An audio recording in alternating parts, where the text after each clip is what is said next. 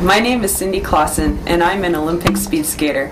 I'm so grateful for the opportunities I've had to represent and race for my country, and I've been inspired by so many great athletes. However, something that moves me even more is to see people compassionately reach out to those in need. I've been fortunate enough to travel to various countries to create awareness about HIV AIDS and peacemaking, and I've seen people selflessly give up their time and resources to help others. I believe that doing my best is to work at making a difference in this world. The greatest thing is that it doesn't depend on talent. We can all reach out in big or small ways. And if we follow our hearts, our best can make a difference in this world.